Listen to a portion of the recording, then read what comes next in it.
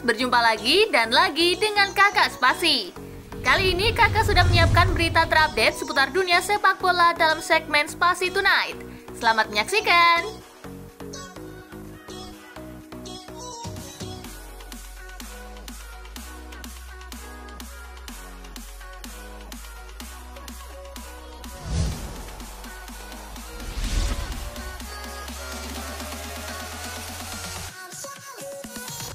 Suarez hat-trick, Messi 5 assist, Inter Miami libas Red Bulls 6-2. Bermain di K Stadium, Inter Miami melibas New York Red Bulls 6-2 dalam lanjutan Major League Soccer 2024. Luis Suarez tampil gemilang dengan mencetak hat-trick, sedangkan Lionel Messi tak kalah bersinar dengan menyumbang satu gol dan 5 assist dalam satu babak. Kemenangan ini membawa Inter Miami nyaman di puncak klasemen wilayah timur dengan 24 poin dari 12 laga.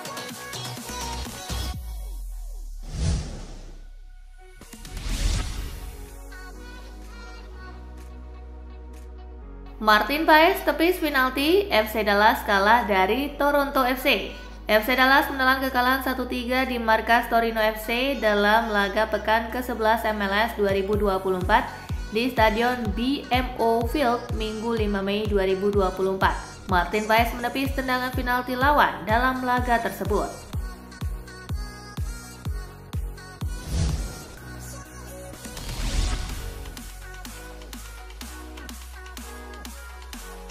Kocak ketika fans Roda GC kena prank kabar promosi. Superstar fans Roda GC kena prank soal kabar promosi ke Eredivisie. Sempat pesta di lapangan, eh kepastian naik divisi rupanya belum pasti. Persaingan promosi harus ditentukan di pekan berikutnya. Groningen dan Roda GC akan bertanding pada 11 Mei mendatang. Pemenangnya akan mendapatkan tiket promosi ke Eredivisie.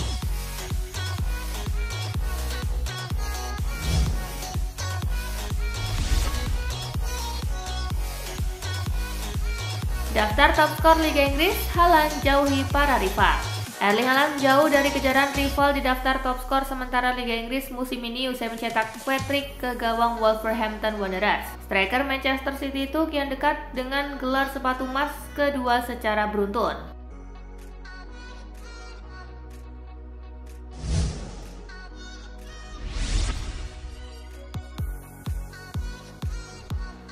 Declan Rice harapkan Manchester City terpeleset.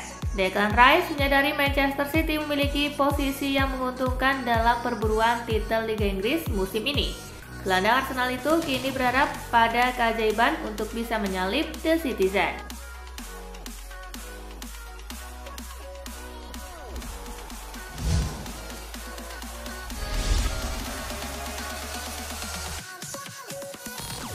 Pujian Arteta buat Havertz yang dituduh diving.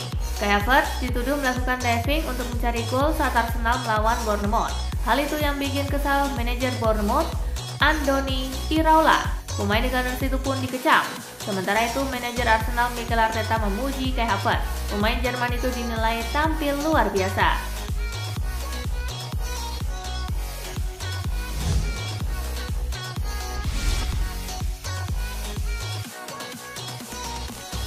David Raya raih sarung tangan emas Liga Inggris 2023-2024. David Raya tampil gemilang di musim debutnya bersama Arsenal. Kiper asal Spanyol itu berhak atas sarung tangan emas Liga Inggris 2023-2024.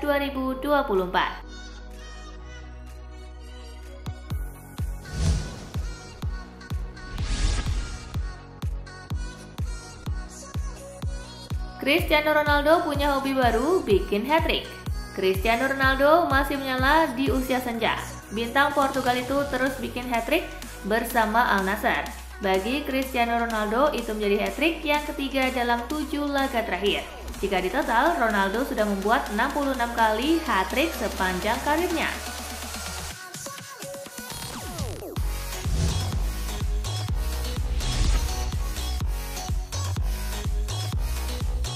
MU capai kesepakatan dengan Lunin.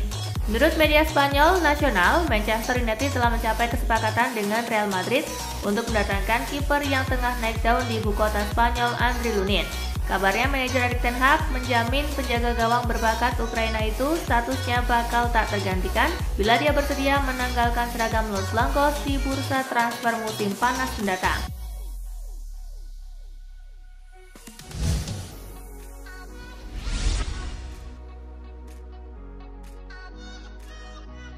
Darwin Nunes ke Camp Nou Darwin Nunes masuk radar di Camp Nou jika Robert Lewandowski menjadi korban dari bersih-bersih skuad. Dengan mendepak Lewi dan meringankan beban gaji, Barcelona nantinya bisa memiliki sumber daya untuk menggoda Nunes. Penjualan dengan harga besar bahkan dapat meningkatkan anggaran transfer yang tersedia di Anfield, sebagaimana mereka ingin membentuk tim dengan tampilan baru bersama calon manajer anyar Arne Slot.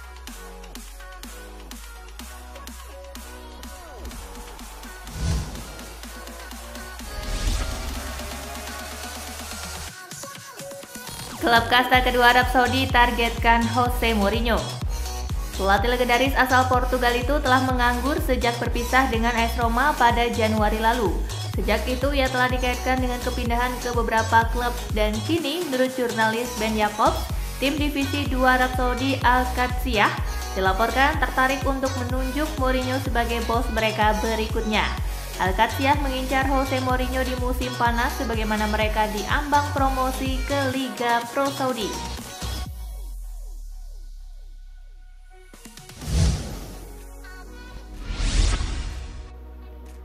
Milan terlalu mudah melupakan jasa Stefano Pioli. Mantan kapten AC Milan, Massimo Ambrosini, menilai Rossoneri terlalu mudah melupakan jasa Stefano Pioli di tengah musim yang sulit yang dialami Milan. Ambrose ini mengungkap pandangannya tentang kekurangan di kubu Milan dan perlunya kepemimpinan yang lebih kuat dan kepribadian yang lebih stabil. Lebih lanjut, Ambrose ini menilai pekerjaan Pioli diturunkan peringkatnya terlalu cepat.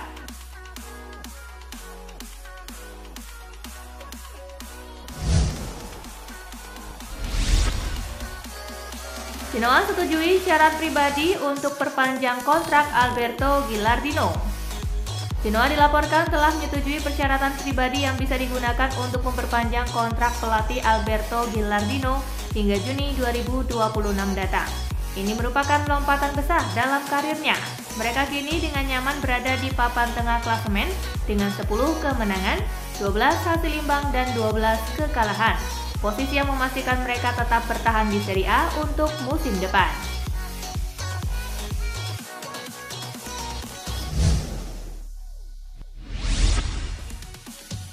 Jadon Sancho berharap Dortmund bisa tuntaskan misinya saat tandang ke Paris.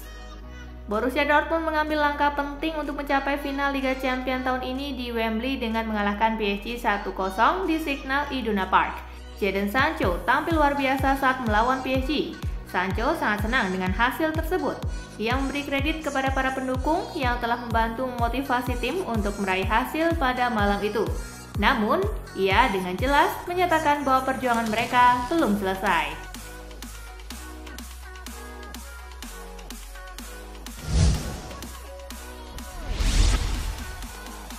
Elkan Bagot rayakan Ipswich Town yang promosi ke Premier League. Ipswich Town resmi promosi ke Premier League musim 2024-2025.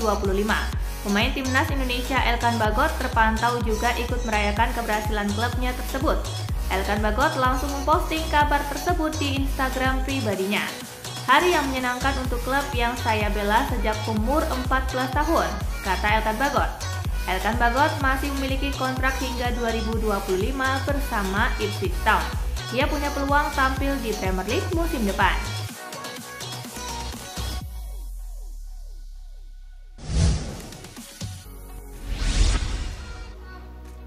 9 trigol bahkan belum genap dua musim, namanya hat-trick Haaland.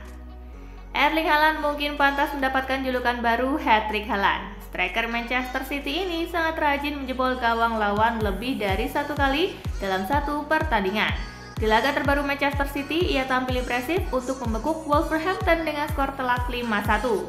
Haaland memang memborong 4 gol di laga ini, catatan istimewa. Tercatat itu adalah hat-trick ke-9 Haaland selama bermain untuk Manchester City.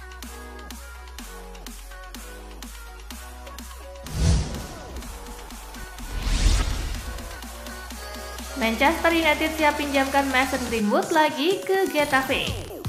Saat Mason Greenwood mendekati akhir musim dengan status pinjaman di Getafe, The Athletic melaporkan bahwa pembicaraan tentang penyerang tersebut untuk kembali ke klub Spanyol untuk tahun kedua sedang berlangsung. Getafe kemungkinan tidak akan merekrut Greenwood dengan kontrak permanen dan United meski lebih memilih untuk menjual Diperkirakan akan mempertimbangkan pinjaman lain jika mereka tidak mendapatkan biaya yang cocok.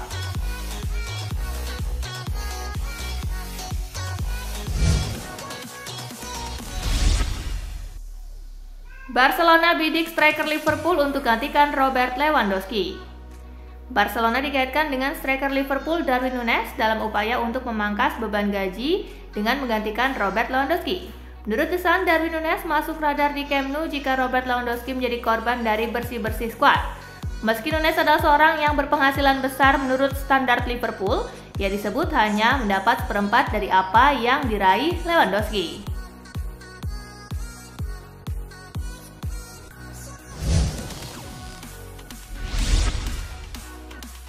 Cuma Barcelona yang bisa. Pekan lalu menang 4-2, hari ini kalah 2-4. Performa yang tidak konsisten masih jadi PR besar Xavi untuk meningkatkan kualitas skuad Barcelona. Hanya dalam waktu sekitar 4 hari, Barca meraih kemenangan memuaskan, lalu menelan kekalahan yang mengecewakan. Barca baru saja menghajar Valencia dengan skor telak 4-2. Hanya dalam hitungan hari, Barca turun kelas dari performa level top jadi kalah memalukan. Barca dihajar Girona dengan skor telak 2-4.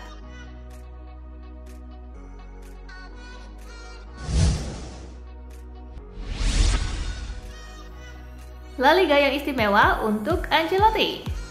Real Madrid dipastikan sebagai juara La Liga 2023-2024. Masih ada empat laga tersisa tetapi jumlah poin Madrid tidak lagi terkejar.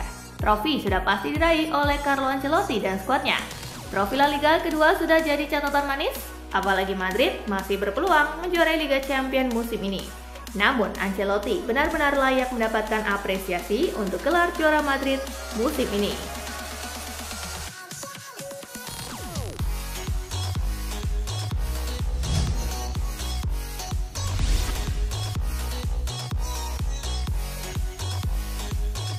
Itulah berita sepak bola terupdate dalam segmen Spasi Tonight kali ini gengs.